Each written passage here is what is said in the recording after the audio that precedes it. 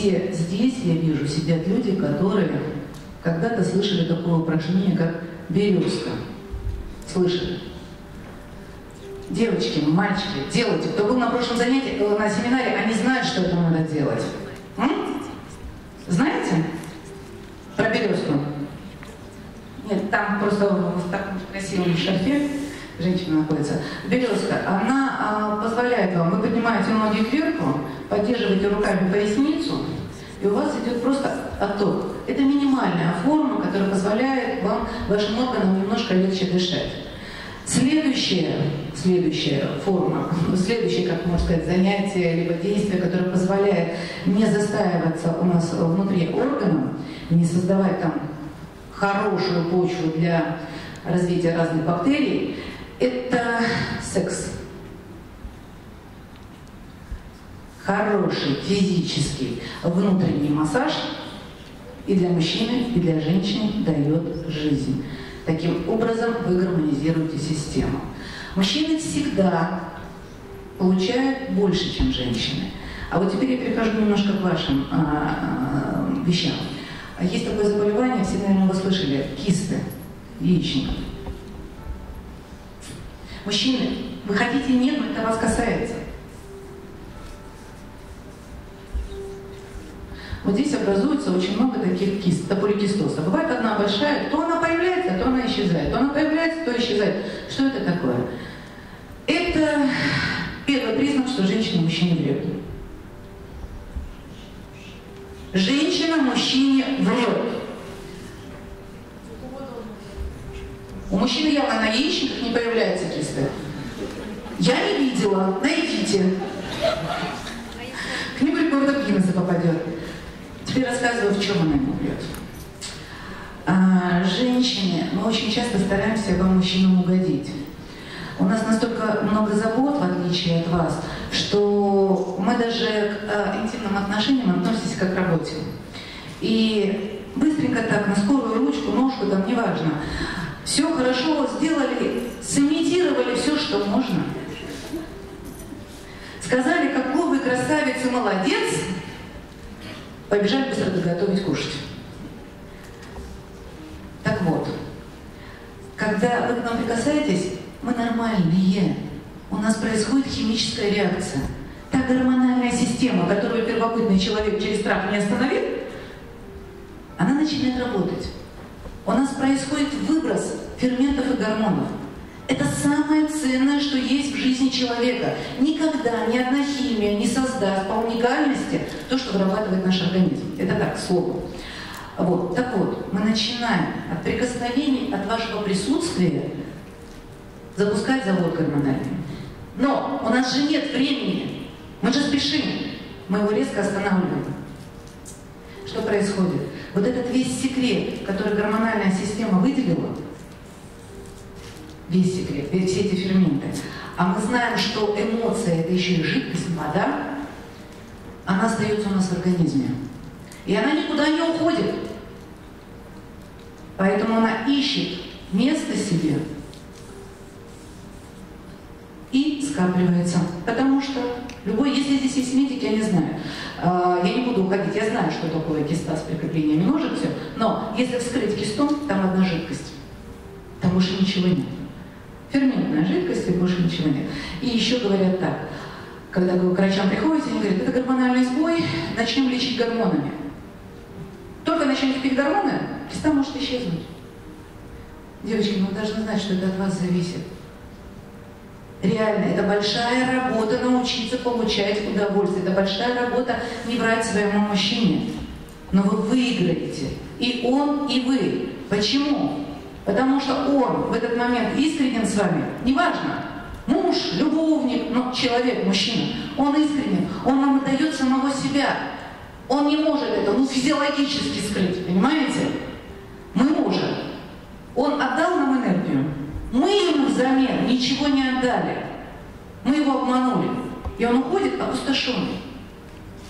И если это продолжается из года в год, из раза в раз, мужчина становится рядом с этой женщиной просто пусто.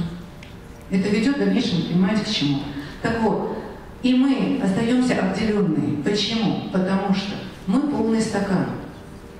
И чтобы вот то, что энергию, ту, которую дает нам мужчина, влить в этот стакан, нужно отсюда часть отлить. А если мы не отливаем, то она избытком остается опять у нас. И если у нас не выстроены отношения физиологичные с мужчиной, мы начинаем полнеть. Любая болезнь – это не любовь. Скажу сразу. Не любовь к себе, не любовь к жизни, не любовь к людям, к родителям, к мужчинам, к женщинам, к работе, ко всему. Любая болезнь. Так вот, любые процессы гинекологические и у мужчин, когда со временем они становятся ненужными, когда они ощущают свою нереализацию, невостребованность, у них начинаются их мужские проблемы. И это не всегда импотенция. У них также начинает развиваться. Сейчас очень резко помолодели а, заболевания простаты, потому что у них тоже там происходит застой. Потому что все, что они отдали сюда, очень часто возвращается к ним обратно. Поэтому э, физиология очень важна в отношениях. Берегите вот это все. Если вы правильно сделаете, то оба получите. Почему получите? Вы отдали сюда, вам отдали сюда, вы отдали сюда. Вы обменялись. А значит, вы открыли канал денег. Ну, вот, например, берем ручку, да? Мы же в магазин идем, за нее денежку платим и получаем ручку. Это обмен. А энергообмен, он самый ценный. Я сегодня сразу сказала, у нормальных, хороших мужчин, женщин счастливые, а у остальных сильные. Да? Это такой, э, знаете, укол в мужскую сторону. Но есть и другой укол. Мы, женщины, можем их сделать великими, богатыми, и мы можем их сделать нищими. Вы замечали такую тенденцию, что мужчина, бизнесмен, за 50 лет, да, прожив с женой 30 лет, у него все хорошо, он крутой, у него бизнес, банк, все есть, да. И тут появляется какая-то молодая девушка, он бросает свою жену и начинает с ней зажигать по молодости. Думает, что у него все еще получится. Вот, что происходит? Через время вы начинаете замечать, как этот мужчина начинает угасать. Он превращается в слабого человека, и он теряет бизнес, деньги. А мы сразу говорим, о, молодуха пришла, пошла ему порчу сделала, приворожила, все деньги у него забрала. Самая главная порча – это, опять же говорю, не любовь. И когда мы кормим себя определенными иллюзиями. Вот поэтому женщина от нас это зависит. Приведу притчу, не притчу, а это уже анекдот. Я была в этом в Татарстане, и мне это водитель рассказывает, везу как-то я жену президента нашего. А, я говорю, ну и что, хорошо. Он говорит, вы знаете, она мне такую вещь рассказала. Она говорит, едет, она с мужем, со своим президентом, по Казани, и он ей показывает. Посмотри, какой мост это сделал я. Посмотри, какие здания это сделал я. Посмотри, какой город сделала я. Вот, если ты не вышла за меня замуж, за кем бы ты была бы замужем? И она, не раздумывая, ему говорит, я, я была бы женой президента. Понимаете, женщина делает мужчину, она сделала из него президента. Это очень глубоко и очень серьезно. Мы сегодня, женщины, недооценены мужчинами до конца. А, то есть они считают, что это они сами все делают. Мужчины, уберите эту иллюзию. Вы никогда ничего сами не делаете. Вы делаете либо для нас, либо из-за мамы, из-за э, любовницы, любви, и просто для того, чтобы что-то сделать и доказать. Это всегда бывает в основе женщина.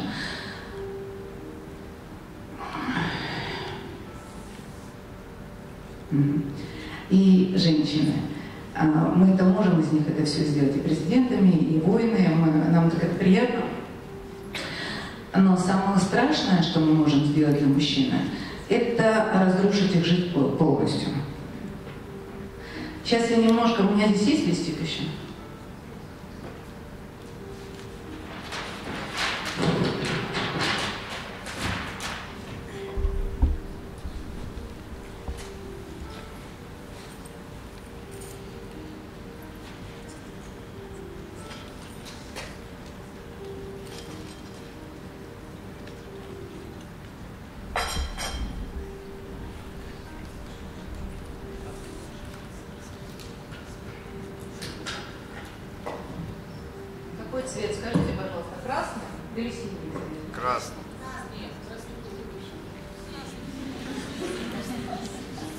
Красный или синий? Синий.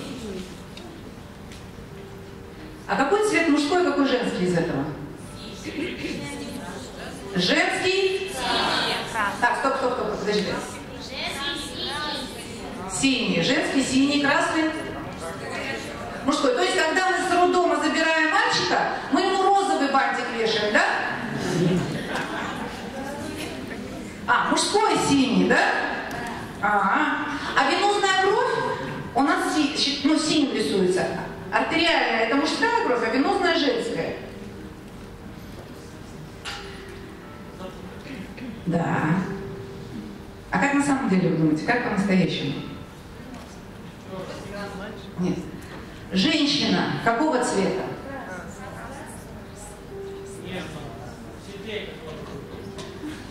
Красный цвет – женщина. Вот. Женщина. Я сейчас объясню, почему.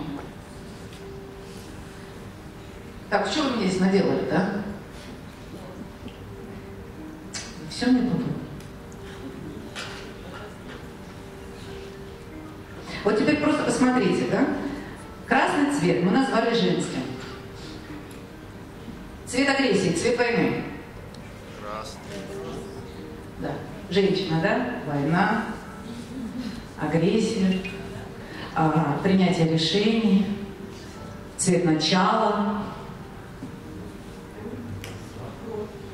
кровь. Кровь делится, я еще раз говорю, смотрите, есть венозная кровь, а есть артериальная кровь.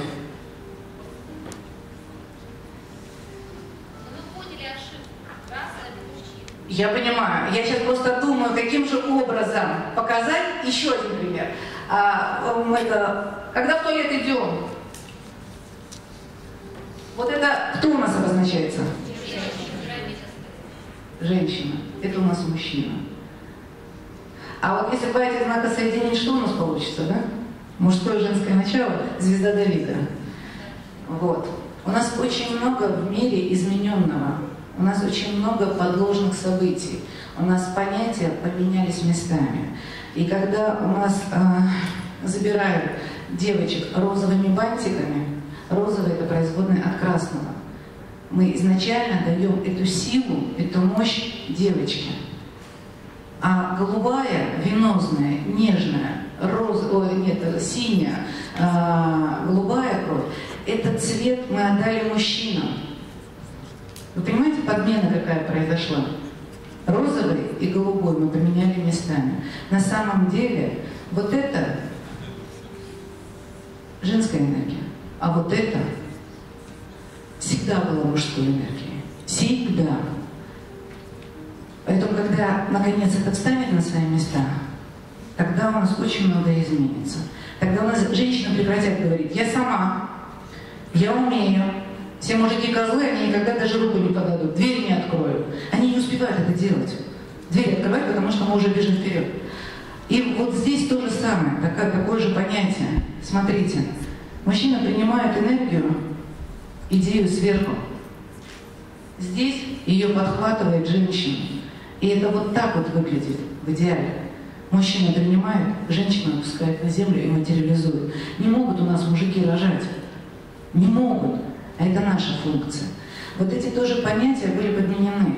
И э, с годами советская власть, я не знаю, когда и кто это сделал, намеренно или нет, у нас очень многое смешалось. И у нас понятие ценности и значимости женщины и понятие уважения к мужчине все нарушилось.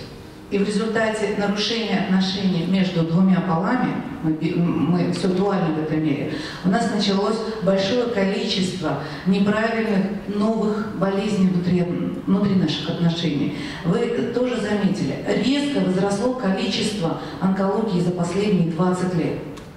Резко. Почему? Все уже изучили многие книги, и все прекрасно знают, что онкология Заболевания такого нет. Онкология – это реакция. Это реакция на, на обиду. Реакция как на тоску. На то, что когда мы не можем какое-то решение принять или сделать. И онкология становится просто э, потрясающе молодой. Девочки, вот когда я вот здесь рассказывала про отношения между мужчиной и женщиной, и до тех пор, пока мы будем обманывать, следующий этап – это не кисты, это не эрозия шейки матки, это не миомы. Дальше идет онкология. Потому что мы начинаем обижаться на саму себя. Почему у нас такой мужчина? Почему мне достался он? Не работает, не делает, все я сама, я сама. И вот это все начинает накручиваться. И обида на саму себя, обида на своего партнера, на своих родителей, что не дали хорошую жизнь, оно ведет к заболеваниям очень сильно. Кстати, эрозия шейки матки – это тоже любая эрозия. В любом месте у мужчин тоже есть эрозия. А, это такое изъязвление, такое нарушение целостности. Оно происходит, как будто бы туда кислота попала. Когда вы не любите мужчину и занимаетесь с ним сексом, любой его секрет для вас кислота. Оно вас убивает. Алло.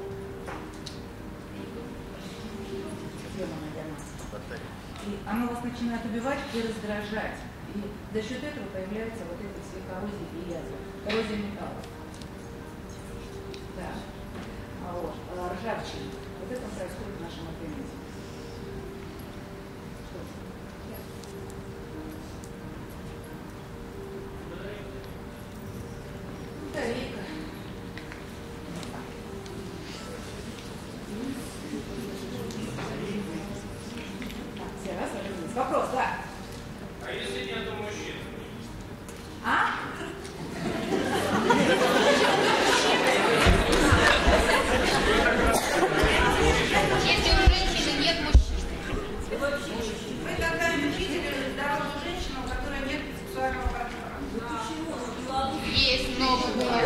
Проблема. Значит, значит, они занимаются любимой работой, они занимаются субли- сублимацией.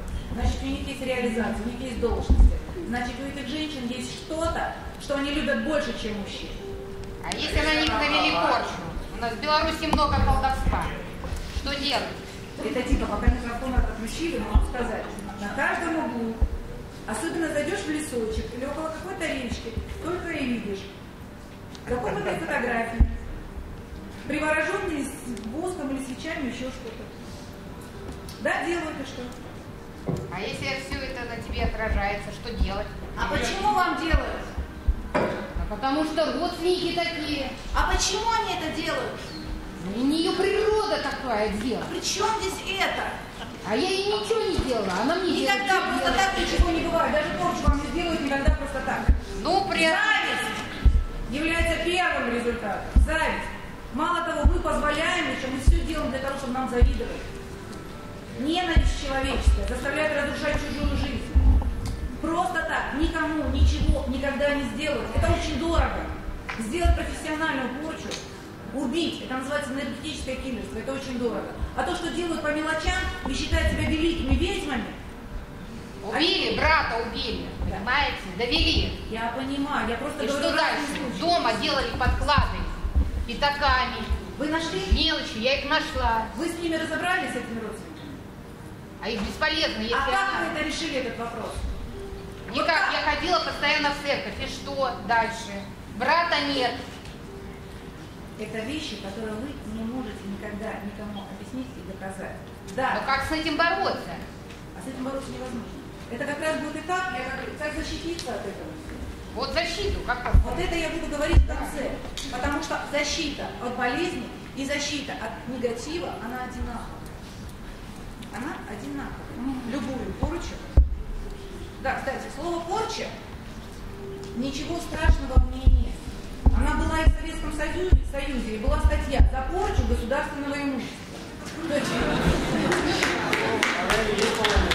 Да, она сейчас есть. Что это такое? Порча – это нарушение целостности. Если вы взяли нож, порезали по столу, он уже не целый, правильно? Так вот такое же понятие есть и о человеке. Нарушение целостности его. Но то, что говорите вы, это не работает так. Вот подошли, тебя ударили либо ножом. Это они поступают по-другому. И ваше тело им вообще не нужно. Вы перешли к следующей теме. Очень Если она А? не сломает один, аккуратнее сказали, поаккуратнее. О, я могу. энергии.